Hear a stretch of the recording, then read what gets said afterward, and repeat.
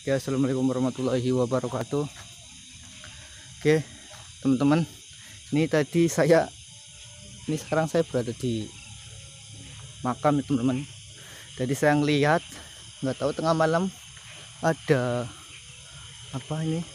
Ada orang ke sini, nggak tahu mau apa. Cuman saya penasaran aja, ngapain tengah malam itu dia datang ke makam saya juga penasaran. Dan dia ke sini itu sendirian. Nanti kita coba cari dia itu lagi ke mana? Oh, orangnya itu lagi di sana sebelah sana. Saya juga penasaran ini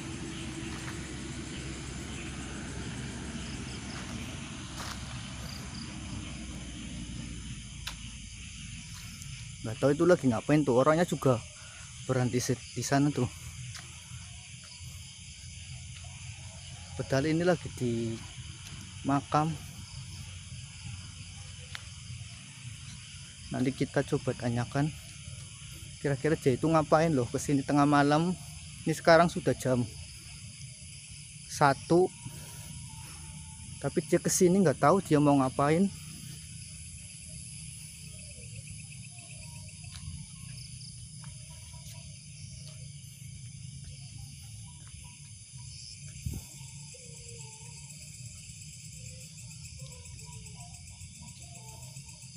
tuh itu sekarang sudah ada orangnya. Itu saya juga nggak tahu itu mau ngapain. Tuh kayaknya dia lagi kebingungan dia lihat-lihat. Mas lagi ngapain mas? Ini mau nyari alamat ini mas.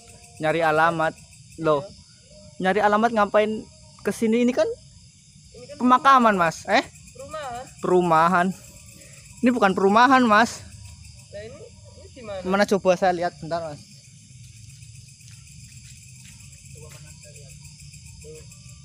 Ini alamatnya di sini mas. Iya bener alamatnya sih di sini. Cuman kan ini bukan perumahan.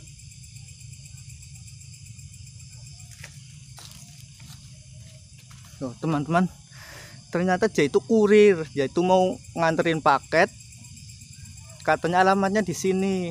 Tapi menurut dia itu di sini tuh perumahan sedangkan di sini itu sedangkan di sini itu pemakaman tuh di sini juga banyak makam tuh bisa teman-teman lihat ya. Oh. bukan perumahan mas. Ini di mana loh berarti masnya itu salah alamat Tapi bener loh. sekarang itu sudah jam satu malam mas. Jam satu malam? Iya mas. Coba mas.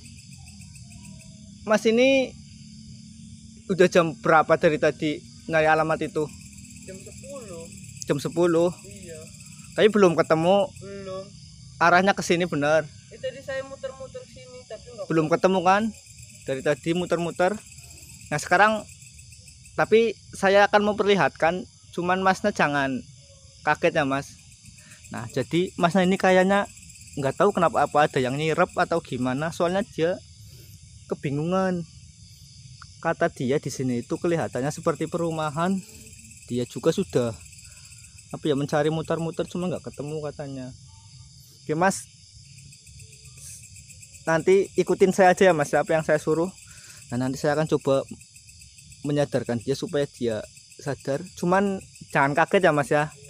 Jangan kaget karena masnya itu sekarang bukan di pedesaan lagi atau perkotaan lagi. Sayang sekarang saya minta masnya itu tutup mata tutup mata mas. Tutup mata ya tutup mata dulu. Merem aja mas. Merem aja mas. Nah oke merem. Bentar mas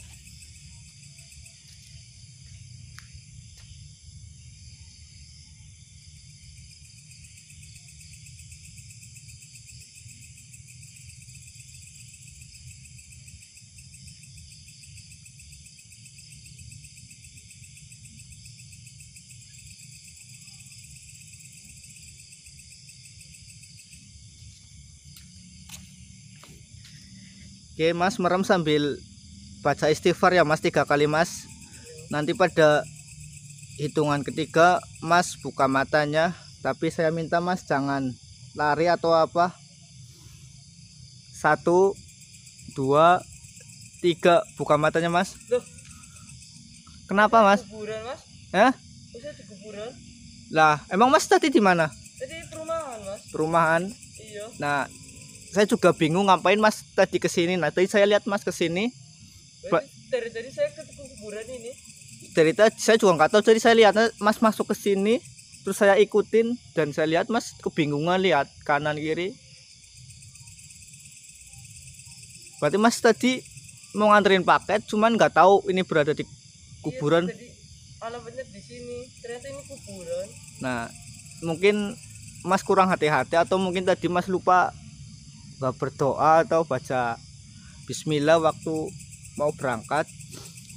Saya saran sih lain kali misalkan mau nganter paket atau mungkin yang lainnya kalau sudah malam harap hati-hati ya mas ya. Jangan lupa baca doa supaya nggak terjadi seperti ini.